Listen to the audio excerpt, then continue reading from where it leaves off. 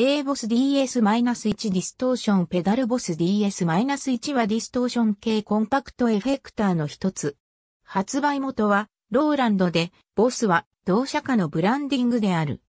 DS-1 は非常に単純な電気回路を有している。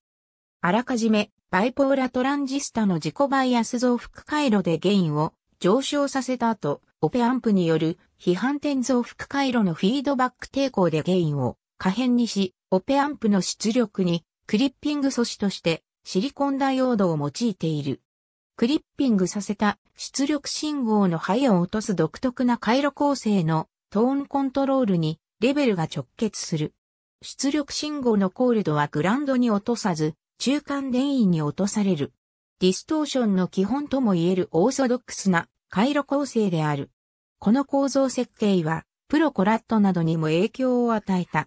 トーンコントロールの設計は先発のファズであるビッグマフに似ている。構造としては出力されるディストーションが可変増幅回路により生成される。それはダイオードが出力をショートさせることで激しく入力波形をクリップする仕様のものである。DS1 をベースにした改造も広く行われている。有名な改造業者としては、アナログマン、ロバート・キーリーが挙げられる。ジョー・サトリアーニ、スティーブ・バイ、カート・コバーン等。ボス DS-1 回路図。ホームメフックス。2016年1月28日。閲覧。 The Big Muff Pi Page。